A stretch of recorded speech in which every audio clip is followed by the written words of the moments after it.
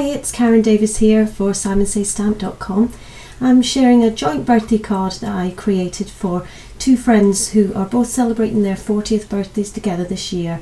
And I'm using the Pandamonium stamp set from Mama Elephant and I'm stamping two of the pandas onto Neenah White cardstock using Hero Arts black dye ink and then running them through my Big Shot with the coordinating dies.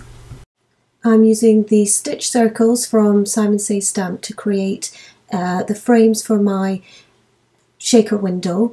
I've cut, um, using two of, two of the dies, I've cut uh, circle frame from Doll Pink cardstock from Simon Says Stamp, uh, another one from Funky Foam, and a third um, circle, not frame, from Vellum.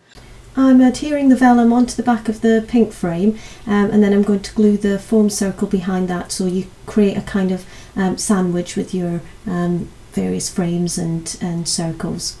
I'm using Tombow strong adhesive um, because it while it gives you a really really strong bond you do still have a wee bit of kind of wiggle room in case it's not um, all lined up um, when you first uh, put it together. I decided just to trim a wee bit um, of the foam from around the, the edge at the back so that you just couldn't see it from the side when you're looking front onto the card.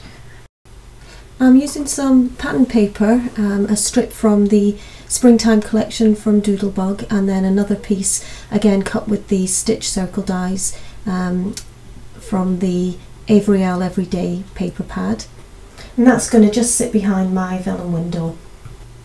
For my shaker element I'm just using some gold confetti and I'm just picking it out um, my fingers there just to get the smaller ones so I can just put a few uh, into the window and I'm adhering the Avery-Elle um, circle that I cut earlier um, onto the back and that's made my little kind of sealed window that I can now adhere to the front of the card. So I've glued down my um, piece of dotty uh, pattern paper from the Doodlebug paper pad and now I'm just going to glue the um, shaker uh, window onto the front of the card. Next I'm taking a small heart that's in the Pandamonium die collection and I'm just die cutting a small heart. I did think about doing a pink heart as you can see i have gone off that idea and I just cut a black one just from some uh, black cardstock.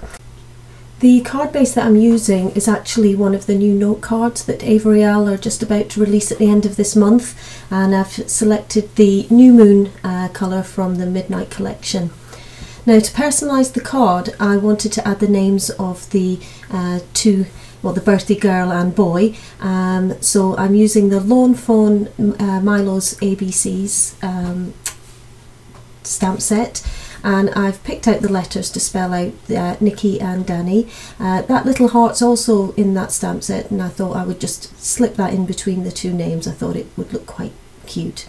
Um, I wasn't entirely happy with the way I lined it up. I did rush this just a wee bit, um, but I thought the sketched kind of um, style of the pandas um, kind of let me get away with that a little bit. So now I'm just um, finishing off the card, just putting the little pandas into place again with the liquid glue um, just because I wasn't 100% sure exactly how close I wanted them to be. I wanted to move them around um, just a little bit on the card. I decided I didn't want to leave the heart open so I took a C10 Copic marker um, just to get fill in fill in the um, the open heart between the names. To finish I'm just taking the panel and adding some foam tape just onto the back and mounting it onto the New Moon note card um, and just to finish off um, because I do I wanted to add a little bit of bling so this time just in the form of some glossy accents which I've added to the die cut heart and also I'm adding some to the little um, stamped heart um, down in between there.